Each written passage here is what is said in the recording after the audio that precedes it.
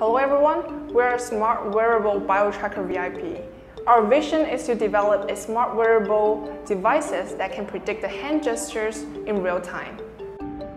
In this project, we were under the advisement of Professor Atashzar, who was basically in the Department of uh, Electrical and Computer Engineering, as well as the Mechanical and Aerospace Engineering departments. So our wearable device is geared towards medical use, industrial use, and AR and VR. For medical use, we want to target amputees or anybody who has limb loss and Parkinson's patient and stroke patients. For the industrial use, we want to target workers who use exoskeleton to lift heavy objects. And for the AR and VR, we want to target essentially everybody and anybody who is into gaming. So our wearable MMG is accelerometer based. In each of our units that we have to measure the muscle vibrations, we have two accelerometers, one for reading the noise and the other one for reading noise and muscle vibration.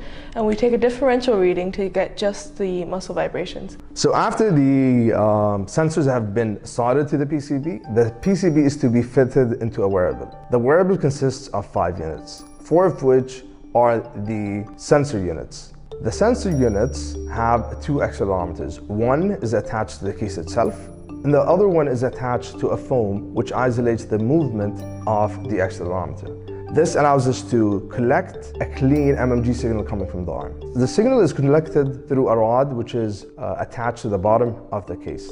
And finally, for the fifth unit, we have the microcontroller which is attached to it. This method is novel because it incorporates MMG, which means that it's sweat-proof and also non-invasive, which means it doesn't have to penetrate the skin. Therefore, our users, our patients, won't require any surgeries to use our smart wearable device.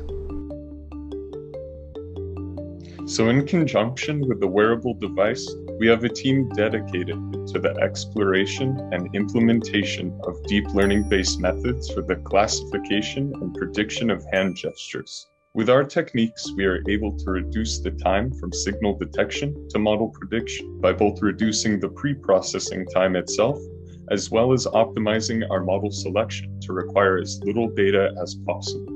Our novel point is that we use transient phase instead of the whole signal of the hand gesture, which means we will doing prediction instead of classification. We also conducted transfer learning on the proposed dilated efficient CapsNet model to improve the model accuracy with much less trainable parameters and training time.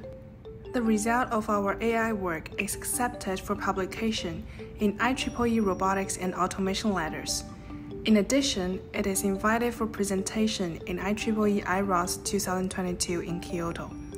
This shows the novelty and impact of the proposed transfer learning approach, which will discuss generalizability in the context of neural interfaces. So for our future plans, we intend to continue pushing state-of-the-art hand gesture prediction by increasing accuracy predict gesture prediction accuracy while decreasing the prediction time. So the wireless team in this project acts more like a bridge. It provides our users a more seamless experience without the wireless team. The users have to uh, wear a lot of wires when they actually go with the armband. We want to provide our users a full range of motion while they're using that.